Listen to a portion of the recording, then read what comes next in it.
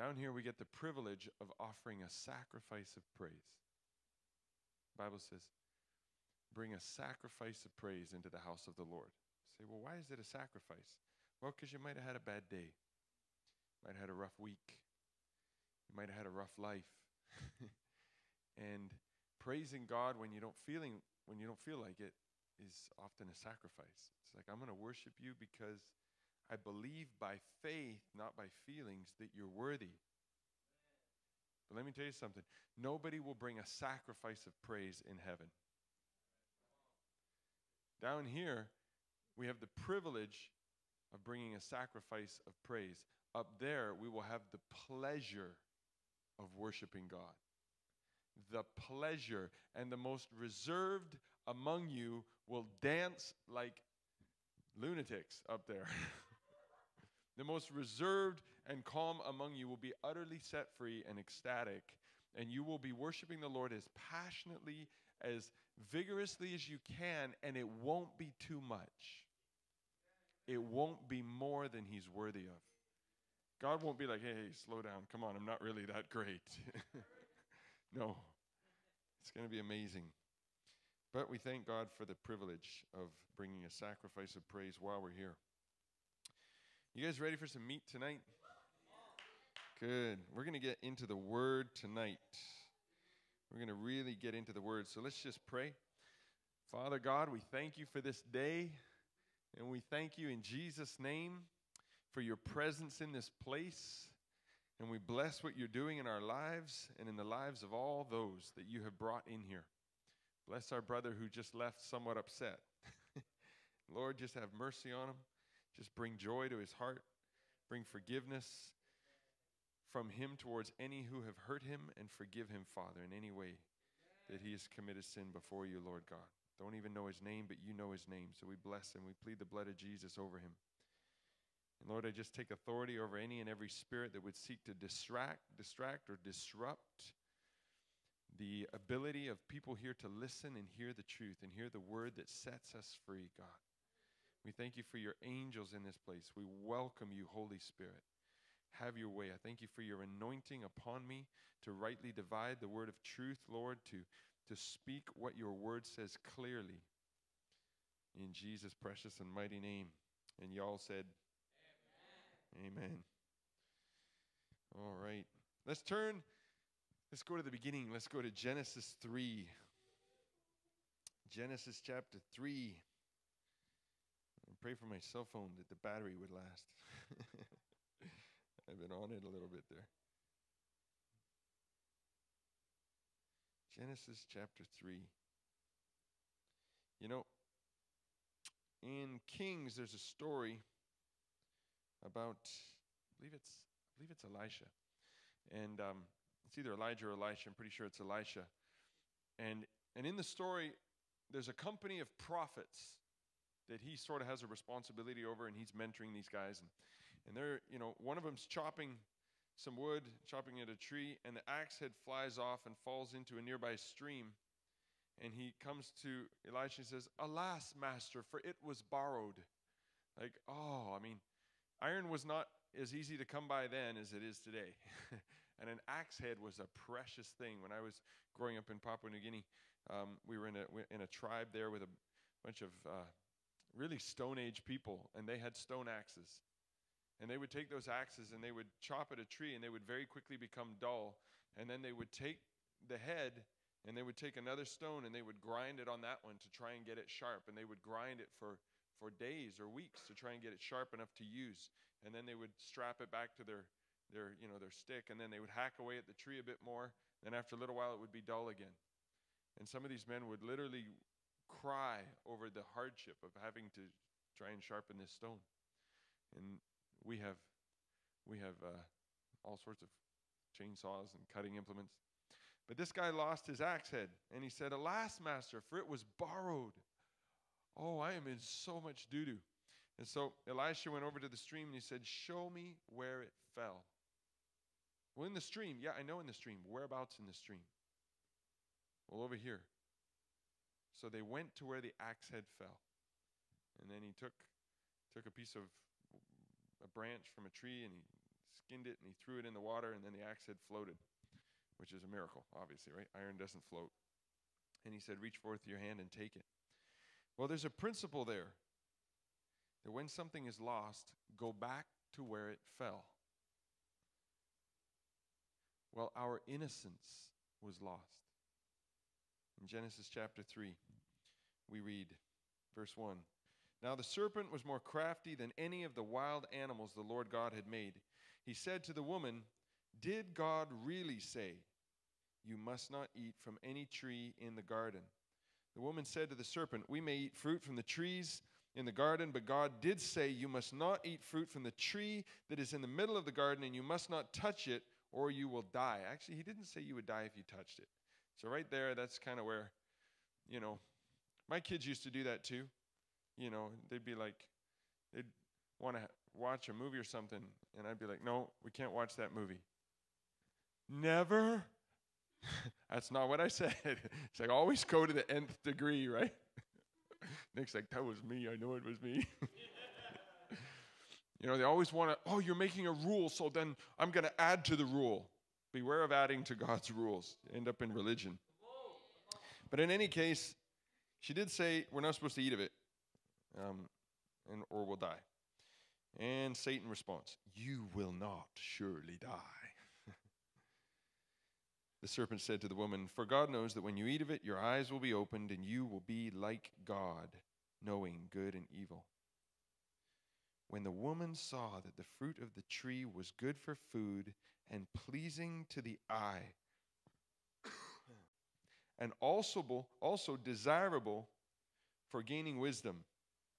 I'm reading out of the NIV, but I'm just going to switch over here mid verse to the New King James. Verse 6 So when the woman saw that the tree was good for food, that it was pleasant to the eyes, and a tree desirable to make one wise, she took of its fruit and ate. She also gave to her husband with her, and he ate. You know, the Lord created the earth, and he made all the animals and, and the seas and the fish and the birds and all that stuff. And then he made man, and he said, It is good. And then Adam was naming all the animals, and there was not a helper found for Adam, not a help meet, a kindred spirit. And the Lord said, It's not good for man to be alone. He caused Adam to fall into a deep sleep. He took a rib and he made Eve. And he brought Eve to Adam when Adam woke up. And Adam said, This shall be Eve, for she was flesh of my flesh and bone of my bone, and she was taken from man. And then the Lord looked and he said, It is very good. So the perfect, all knowing, all powerful God created a universe and he created two human beings and he said, It is very good.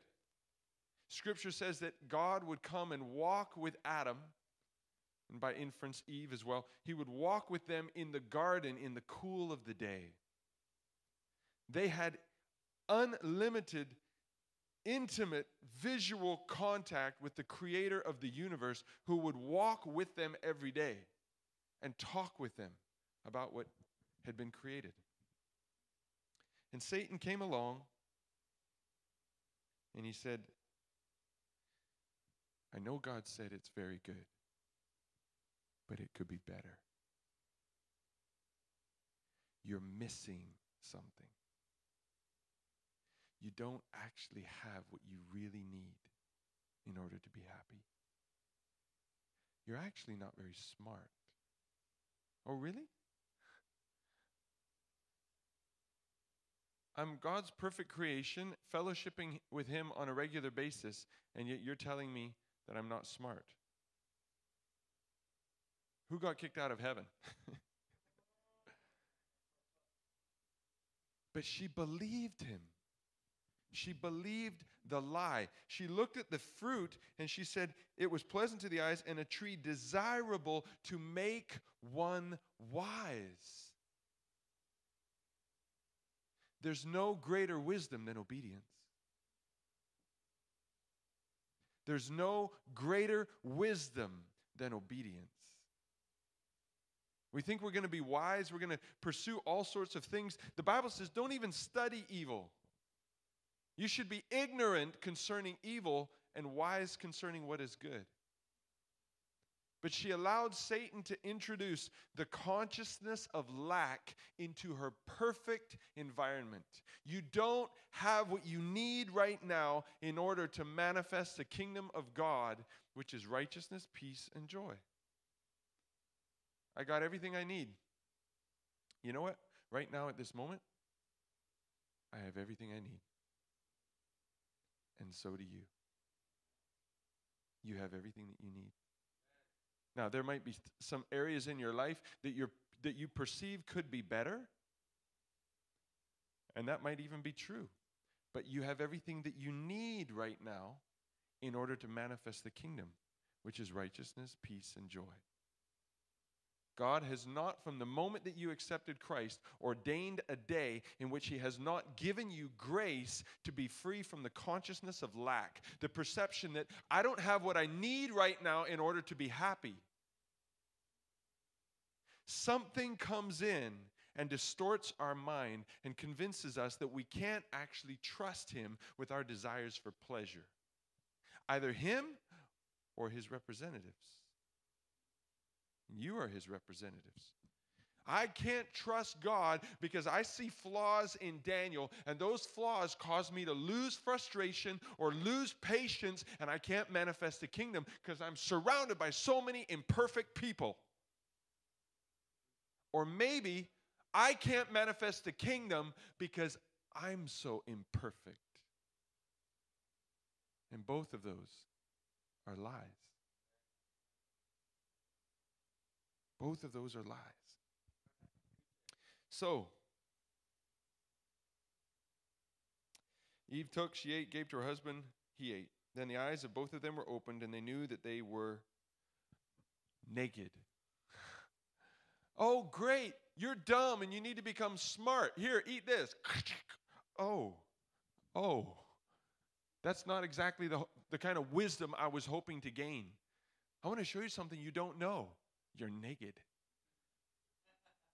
Dang, I was kind of hoping for, I don't know, computer smarts or something. that's, that's not information that's helpful. It's not benefiting me. You're right, there was something I didn't know, but now that I know it, I'm not better off.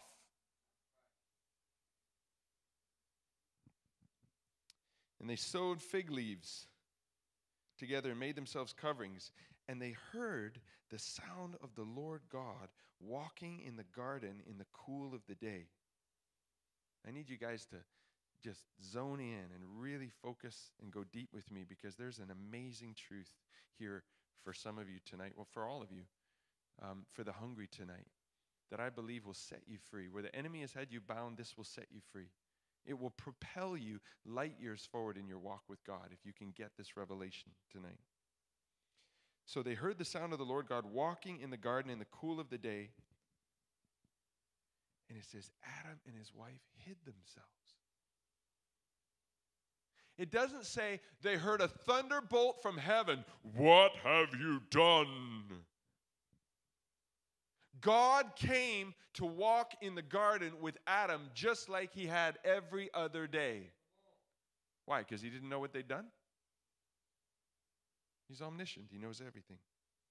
Adam and his wife hid themselves from the presence of the Lord God among the trees of the garden. Verse 9 Then the Lord God called to Adam and said, Where are you? So Adam said, I heard your voice in the garden, and I was afraid because I was naked, and I hid myself. And the Lord said, That's right, you're naked. Can't believe you never asked me for clothes before. Didn't you know you were naked? No, the Lord says, Who told you that you were naked? Have you eaten from the tree of which I commanded you that you should not eat? Listen, verse 12. Then the man said, Here's his second sin. And I wonder, I just wonder what would have happened differently if he hadn't committed this sin. Adam said, The woman that you gave me, I'm blaming her and I'm blaming you. This pile of stinking doo doo on the floor, that's not mine, that's hers and yours. The woman you gave me, She gave me the fruit. Uh, twisted my arm and uh, just had to take a bite. It's not my fault. And the Lord God said to the woman, Now is God is God uh, grilling them to, truly, to really try and find out what really happened? Or is God giving them an opportunity? Is God giving them an opportunity to maybe respond differently? And the Lord God said to the woman, What is this you have done? What is this you have done? Not what did Adam do, what have you done? And the woman said, The serpent deceived me, and I ate. Nobody owns up. I wonder what would have happened if, when they heard the sound of the Lord walking in the garden, they had both run to him and thrown themselves on their faces and said, Father, we have sinned. Look at us. Oh God, we have disobeyed you.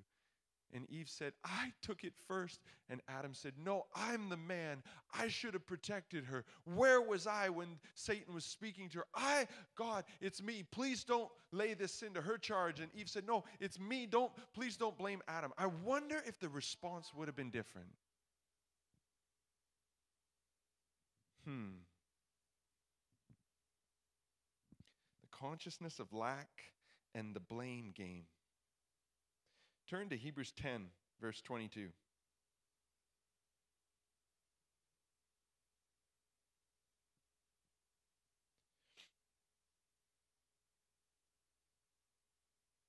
Hebrews 10, verse 22. In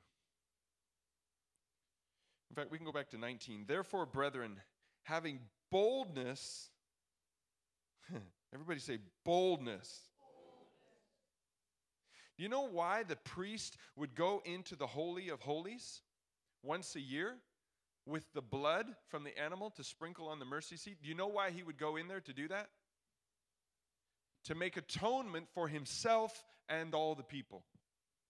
He came into the Holy of Holies because he needed forgiveness, because he wasn't perfect. And so he would come into the Holy of Holies bringing the blood. And if he didn't have the blood, then he was a dead man, and they tied a rope around their, their, their leg, and, and they, or they had a bell on it, and if he stopped moving, they would go, oh, I guess he had unconfessed sin, and they would pull him out. And it says that here in, here in Hebrews 10, it says, Therefore, brethren, having boldness to enter the holiest by the blood of Jesus. When? Whenever you've sinned. Well, when I've sinned, I don't come boldly. That's a problem. Please don't confess that like some sort of false modesty. That when I've sinned, I come crawling and slithering into the holy of, oh, I'm a worm. The Bible says that we're to come boldly. Now, not arrogantly, but confidently expecting forgiveness. By a new and living way, which He, Christ, consecrated for us through the veil that is His flesh, and having a high priest over the house of God, let us draw near with a true heart. Adam and Eve, your hearts were not true in the day of your sin. And when God came, there was no humility and no remorse, there was just guilt. And he says, Let us draw near with a true heart in full assurance of faith, not in your righteousness, but in his. In the, in the satisfaction and the sufficiency of the blood of Christ to cleanse you from all sin. Having our hearts sprinkled from an evil conscience.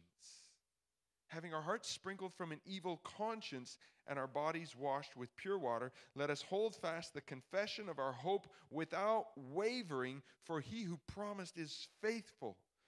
And let us consider one another in order to stir up love and good works but I want you to notice in verse 22, it says, with a true heart and full assurance of faith, having our hearts sprinkled from an evil conscience. Let's, let's look at another verse that really helps us to understand it as well. Um, we'll go to, uh, well, we'll stay in Hebrews for one more verse. Hebrews 9, verse 13. So just go back a chapter. Hebrews 9, verse, uh, actually, I'm going to start in 11. Hebrews 9:11, But Christ came as high priest of the good things to come with the greater and more perfect tabernacle, not made with hands, that is not of this creation, not with the blood of goats and calves, but with his own blood he entered the most holy place once for all, having obtained eternal redemption. for if the blood of bulls and goats and the ashes of a heifer, sprinkling the unclean, sanctifies for the purifying of the flesh, how much more shall the blood of Christ, who through the eternal Spirit offered himself without spot, cleanse your conscience?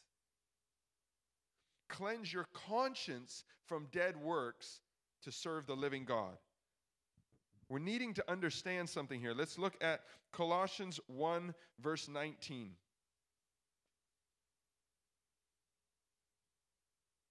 Stay with me.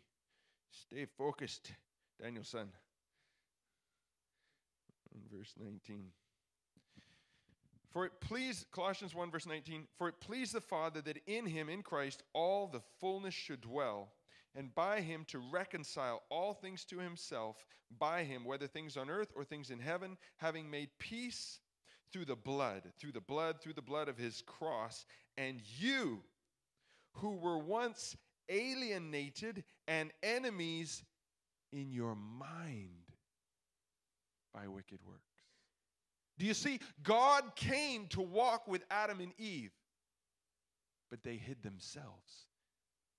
When they sinned, it wasn't like God disappeared off the map and all of a sudden it's like, God didn't come today. And next day, God, God hasn't been here all week. Where's God? I guess, I guess we're so wicked and so unholy that he, he can't even come near us anymore. He knew what they had done, but he came prepared to walk with them in the garden the same, and they hid themselves. And when he confronted them, they blamed one another. Because they were alienated and enemies in their minds by wicked works. They were alienated and enemies in their minds by the wicked works. We're going to get some revelation of how powerful the blood is and how powerful the love of God is.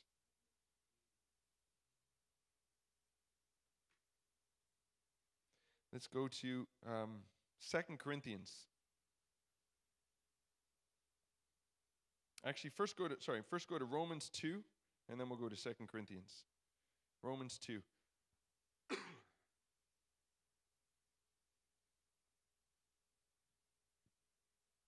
Romans 2, verse 12.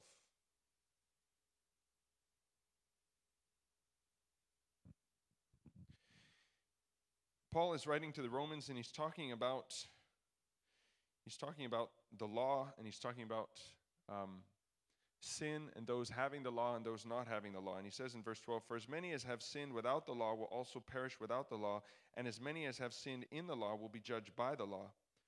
For not the hearers of the law are just in the sight of God, but the doers of the law will be justified. For when Gentiles who do not have the law by nature do the things in the law, these, meaning the Gentiles, although not having the law, are a law to themselves, who show the work of the law written in their hearts, their conscience also bearing witness, and between themselves their thoughts accusing, now even defending them. Now the translation say, or also excusing them. In the day when God will judge the secrets of men by Jesus Christ, according to my gospel. Even those who don't have the law have the law. They don't have the Levitical law, but inside. And even though they don't have that law, when they do what is right, their hearts bear witness that they have done what is right. And when they don't obey the Levitical law, or when they don't obey the understanding of those who have the Judeo Christian ethic, guess what? Scripture says that, that without the law, there's no transgression. That's what it says in the word. Without the law, there's no transgression. So when someone does something, but they didn't know that it was at all wrong, and they weren't given any opportunity to become acquainted with the fact that it was wrong, God doesn't hold them accountable. But when they know the law, and at some point, the, word, the word is saying that they all know the law. It says, even, even the Gentiles, who by nature not having the law, when they obey the law, it testifies within their hearts and their thoughts are sometimes condemning them, even though they don't have the law of God. They know that's wrong what I just did. And I don't need anybody in my culture to tell me I shouldn't have done that. I know that's wrong and I feel guilty. And at other times, when they do what is right, their thoughts, their own thoughts defend them. So when we come before the throne of God, the greatest impediment to the progression of your spiritual life is how you perceive yourself. Do you see yourself as forgiven? Because it's the alienation in your mind by the wicked things that you have done that is the real problem. That's why it says, don't lose your hope. It says, cast not away your confidence, which has great potential for reward, great recompense of reward. Do you know that your confidence in the finished work of the cross and in Christ's work is actually what saves you? It's your confidence that you are forgiven, that He is faithful, that He's He who's begun a good work in you will complete it. And when you begin to start losing confidence in that and think, I actually, actually, I'm, I'm, it's such a narrow road. And you know what? There's two ditches. I'm going to grab a couple of props here. This is this is how narrow the road is. Pretty much wide enough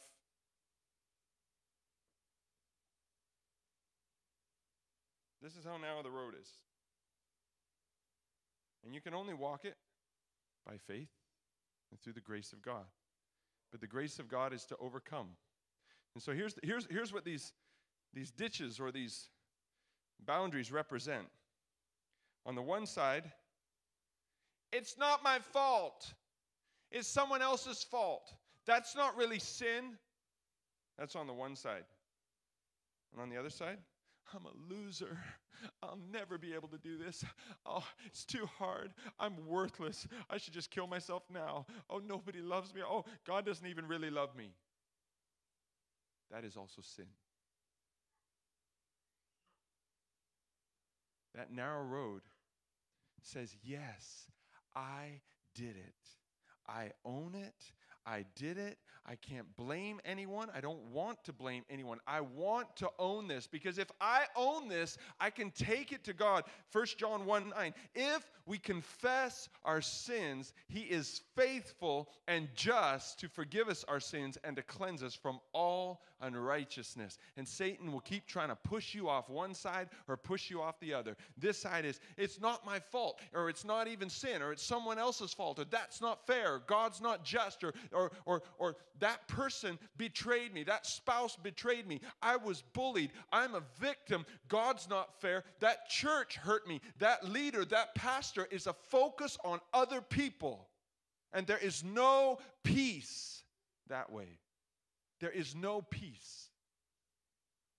I made a mistake along with some other people, some close friends of mine, in the last 10 years, and my mistake hurt a lot of people. And I'm not saying I made the, the, the mistake alone, but I definitely made it, and I own it. And other people made mistakes around me at the same time that that was happening. And one person in particular made a really big boo boo, and I was really mad at him, and my focus was on him for quite a while. I can't believe that you would do this. And it took God about two and a half to three years for me to kind of finally come to the conclusion that I was not a victim, but I had the opportunity to be a repentant culprit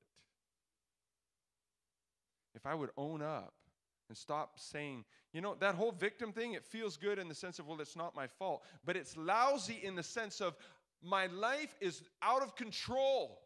I'm at the mercy of all of these other flawed human beings around me and flawed systems and, and, and, and, and flawed government because, you know, I mean, look what's going on in the States and look what's going on in Canada. And what about the church? Those leaders are, are, are mean. They're, they're, they're either too hard or too soft or, or too lazy or they're falling into sin or, they're, or, or they just don't care or, they, or they're control freaks. And all of this, it's other people. And, and as long as you stay a victim looking at everybody else and going, it, it, everybody's hurting me, that's a pretty powerless place to be.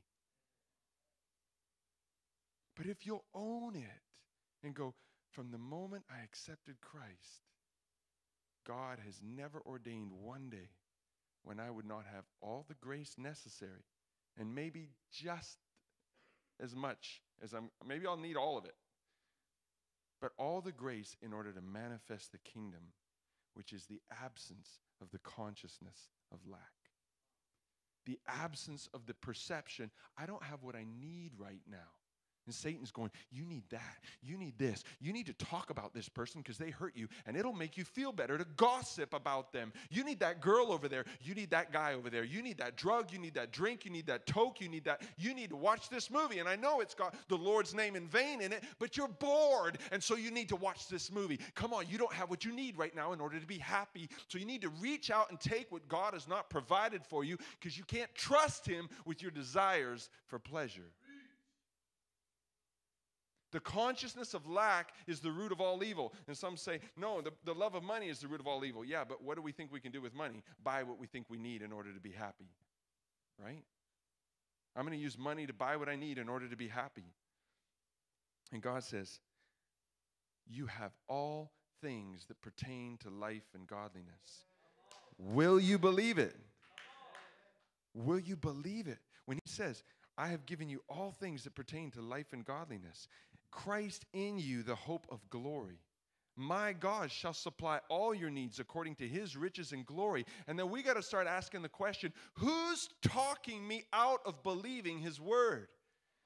Is it the people around me? Is it my own eyes? I mean, look at Paul and Silas in prison after having been beaten for preaching the word, casting the devil out of the soothsaying woman, and now they're in prison, hurting in stocks in the inner room, feces, rats, pain, and they're in there and they're conscious of no lack. And they're worshiping and praising God. So, what you got going on that tops that? Hmm? Nothing. None of us do. None of us can look at what Paul and Silas were going through and go, I've got a reason to bellyache or to complain.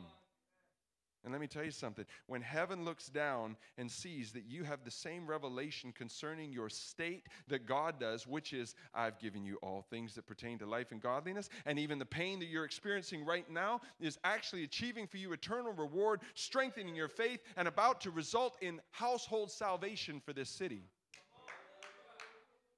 Then heaven sees you praising and worshiping Him, and God goes, I'm going down there and break apart the prison. And even then, they didn't leave. Why? Because they were conscious of no lack. They were like, What? What? You think I was scared of being in here? You can kill me. And I didn't suffer all of this as soon as the doors opened to go, Let's get out of here. I came here for something. I came here to see God's kingdom advance. And the jailer was going to kill himself. And Paul said, Hey, hey, we're all here. And he's like, I just undid him. And he came running and he fell down. And he says, I thought I was the one with the key, but you have the key. Set me, set me free. Set me free. Hallelujah. A couple more verses here. A couple more verses here. Uh, 2 Corinthians 6.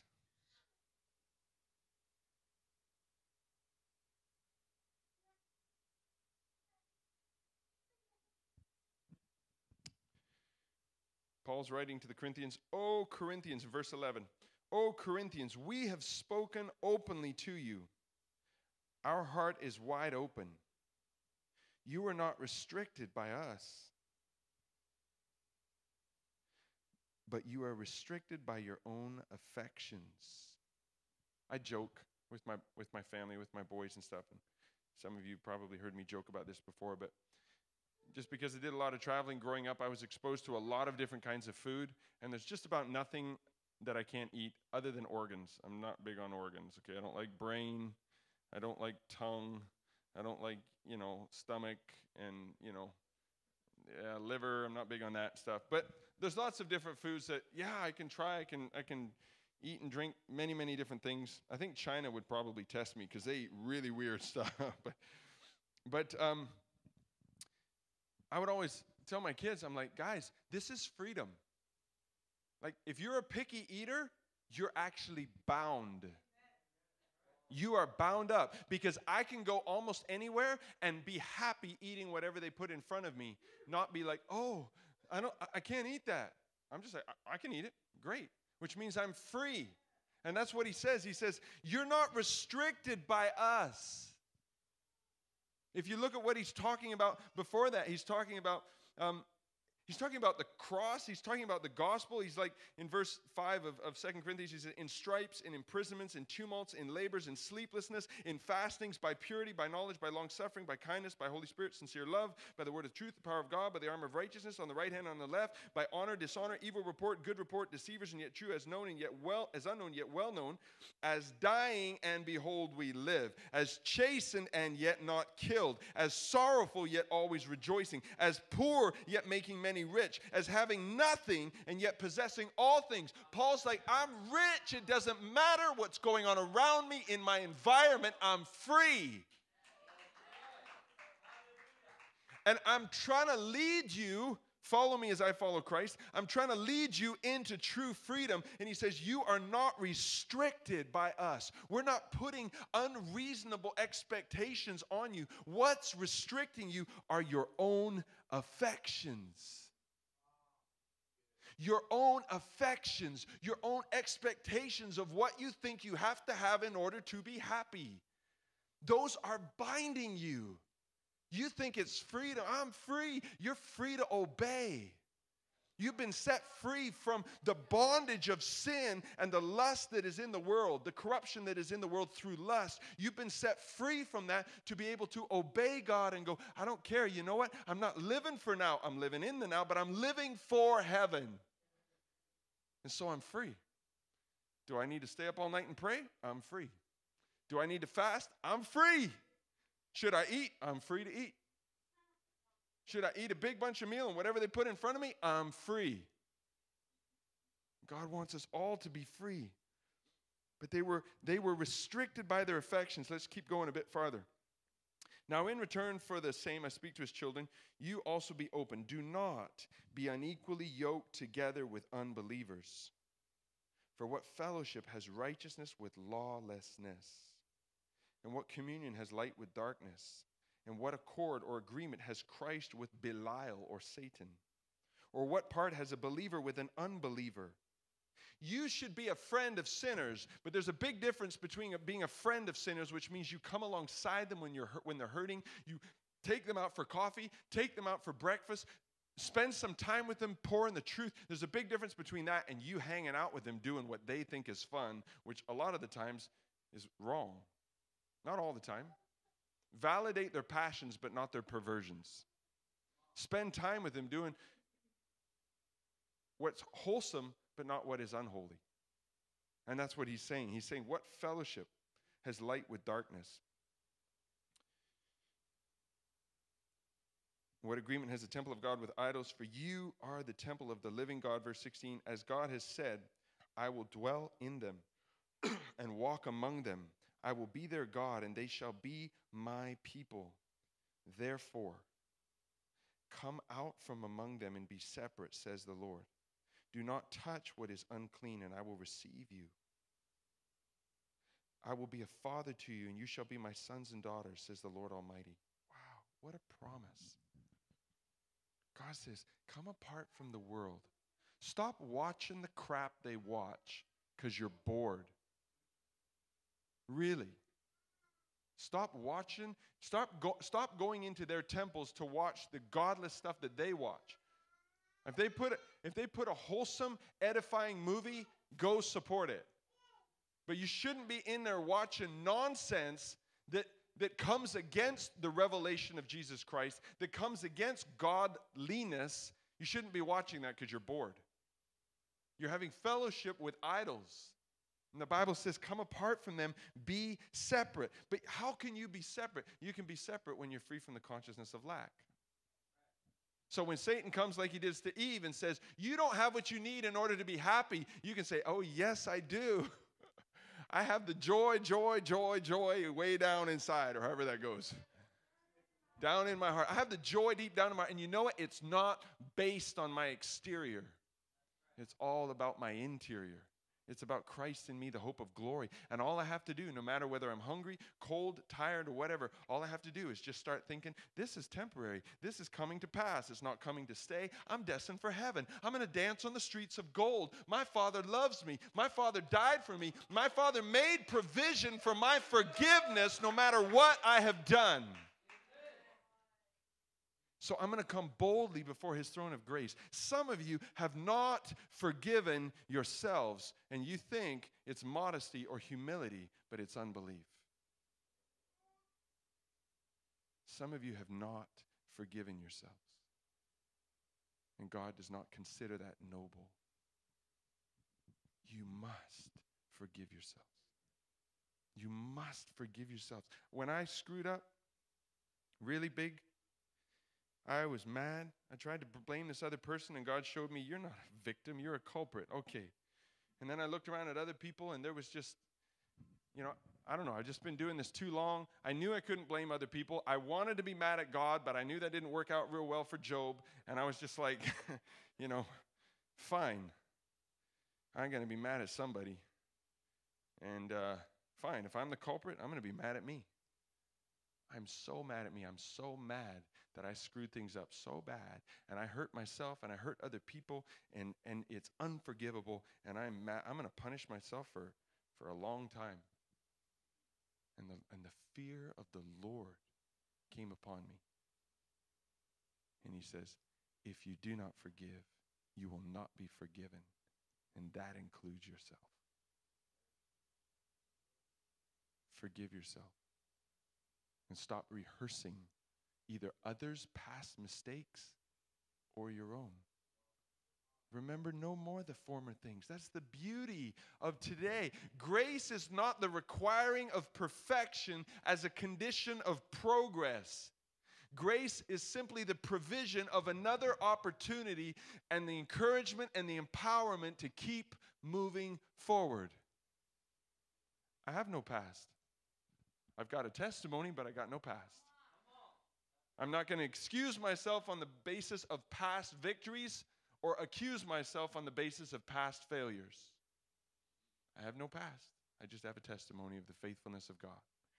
And here I stand today by His grace, breathing by His grace, heart beating by His grace. And I come boldly before His throne of grace, saying, Lord, Lord, here I am, one of your sons that you saved. And God, you and I both know, man, I got a ways to go. But Lord, here I am again, and I have full expectation I'm not going to hide when you come looking to walk in the garden in the cool of the day. I'm not hiding behind a tree going, I'm naked. No, I'm clothed in the righteousness of God, not because I feel good, not because I have a whole long track record of doing things perfectly, but every single day I need the blood of Christ. Every single day I need the forgiveness of God, and I fully expect to receive it. I fully expect to receive it. And I don't think that I can even talk to you because, well, I've been perfect for a long time. I make mistakes all the time. They're not necessarily the big mistakes. I shouldn't even call them big mistakes. Mis- mistakes are mistakes, but they're not necessarily the mistakes that some of you have struggled with. I'm not struggling with, you know, um, looking at porn. I'm not struggling with, um, you know, substance abuse or anything like that. But the things that I struggle with are no less a grievance to God than any of those things. In fact, in some ways, they might be even more because I should know better.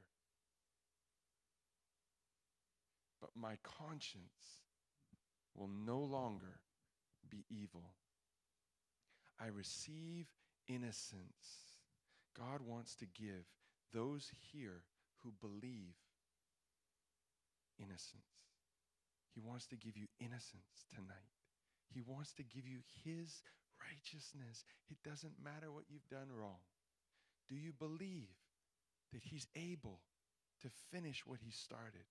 Will you receive His grace tonight and will you move forward? You know, one of my spiritual fathers and the man who ordained me, he said, Self pity is the canopy that we erect over the fungus and the mushrooms of our hurts to keep them alive and growing. Listen to that.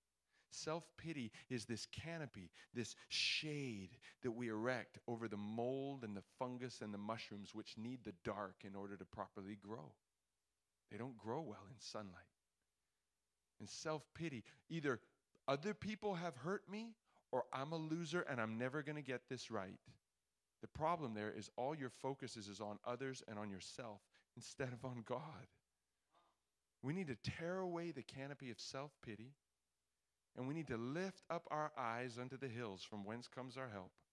And we need to trust that the blood of Jesus is enough. It's enough, it's enough to forgive me. And the power of his Holy Spirit is enough to sanctify my affections. The blood is for your past sins. Many people talk and they say the blood of Jesus is for your, your sins, past, present, and future. And I know that, that if you commit sin, if, not when, but if you commit sin in the future, that the blood of Jesus, when you get there and have committed the sin and look backwards, it'll be your past. And that when you repent, the blood will cover it. But the blood is not for your future. And the reason is, is because if you say the blood of Jesus is for my future sin, you're planning to sin. And that, that's not faith. God is not scripting sin into any of our lives from this moment forth. There is no sin scripted into your future. Jesus doesn't say, He doesn't say when you sin. He says, if we sin, we have an ad- advocate with the Father, Jesus Christ the righteous. No, there's another provision that has been made for your future. The blood of Jesus is for the remission of sins that are past, the word says. But the sanctification process is by the Holy Spirit through the word. Sanctify them, sanctify them by your truth. Your word is truth. By the renewing of the mind through the washing of the water of the word, and the blood of Jesus deals with our past evil actions. And the power of the Holy Spirit, breathing on His word, deals with our present evil desires. Desire itself is not sin, it's a temptation. And the Lord wants to sanctify us. He wants to sanctify our affections and say, I've given you everything you need to make it through today. I've given you what you need to be happy. You don't have enough money to pay your rent. Trust me anyway. Paul says, if I have food and clothing, I should be content. You're being tempted in an area, I promise you, no temptation has seized you except that which is common to all men. But God is faithful. He will not allow you to be tempted beyond what you can bear. But when you are tempted, He will make a way out so that you can stand up under it. For God tempts no man, nor can He be tempted. So there's no situation we get into where we have to say, God, you haven't given me what I need in order to manifest your kingdom righteousness, peace, and joy. So I'm going to have to take something you haven't provided. I'm going to have to steal. I'm going to have to cheat. I'm going to have to lie. I'm going to have to uh, uh, cheat around, look at porn, masturbate, smoke, shoot up, drink up, gossip, slander, blame others, be lazy, whatever. Nothing God has not scripted any of that into your future. He's scripted grace upon grace, kindness upon kindness, mercy, and the blood of Jesus constantly on the mercy seat in heaven. And you can come boldly into that place saying, God, I receive my innocence again. Like a, oh, just like a big bucket just poured over me, washing away all stain. Woo-hoo! We can go skipping from the. like little children used to discipline discipline my kids and say, You're not supposed to do that. Whack. I love you. Come here. Listen. Okay, go play. Okay. All right. And playing. As that we, we become adults and we get older, and then I can't believe I got a spanking. It's just not fair. I'm such a loser. Or, or, or, or you're wrong for spanking me. Just get over it and move on. Just get over yourself and move on. Get over your bad self and get on with your good self which is the new self created in Christ Jesus, which is being transformed into the image of the Creator day to day. Let's stand to our feet. Lord God, I thank you for innocence. Lord, we are here as your children, having had our innocence restored by the blood of Jesus. Not the blood of bulls and goats, Lord, which could not forever cleanse or make righteous those who continually offered them, O God. But we have been cleansed with the precious blood of a lamb without spot, without blemish, who is your Son. And God, we receive grace today. God, I receive grace today. I receive forgiveness today. I receive mercy today because I'm your son, Lord. And I thank you for washing me and saving me. And Lord, though I stumble and though I fall, yet you pick us up.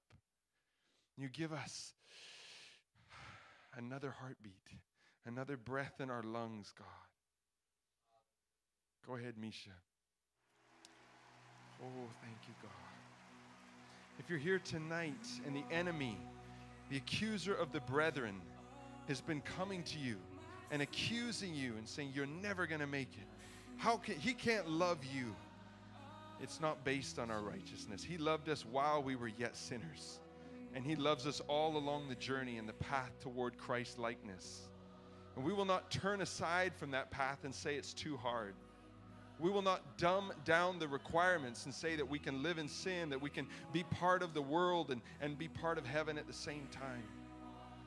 And neither will we say that, that, that we are losers and, and His blood isn't strong enough to cleanse us. His salvation isn't, isn't powerful enough to reach us. Your word, God, says that your arm is not shortened, that it cannot save, neither is your ear heavy, that it cannot hear. So, Father, we come. And we say, Wash us again in your blood. Wash us again in your blood. Cleanse our consciences. Let us not be alienated in our minds by wicked works. The works themselves, they are sin, but they're immediately dealt with when we confess. Yet the condemnation is really what keeps us out of your presence, God. And we must repent, but we must not grovel and stay in a place of condemnation. So if you're here tonight and you've committed sin, it says in 1 John 1 5, if we confess our sins, 5 to 9 if we can if anyone says he has no sin he's a liar and the truth is not in him but if we confess our sins he is faithful and just to forgive us our sins and to cleanse us from all unrighteousness it says in another place confess your faults one to another that you may be healed i'm going to have the uh, prayer ministry team just come forward as well. If some of you need to get right with God first, then you go ahead and do that, and then you start praying with others. So if you're here tonight and you've got some unconfessed sin in your heart, then please come forward and confess it. We'll be confidential. You just go ahead and confess it. We don't even care because you know what? God's going to forget it really fast, and so will we. Because He throws the sin as far as the east is from the west into the sea of forgetfulness. And by the same token, if you're here tonight and the enemy has been lying to you, saying that you are yet a sinner, you are not saved by grace, or that you are struggling, or that you can't make it. And he's bringing you to a place where you don't have boldness to come before God because of your sin, then come forward and we will pray with you and break off all condemnation, break off all accusation.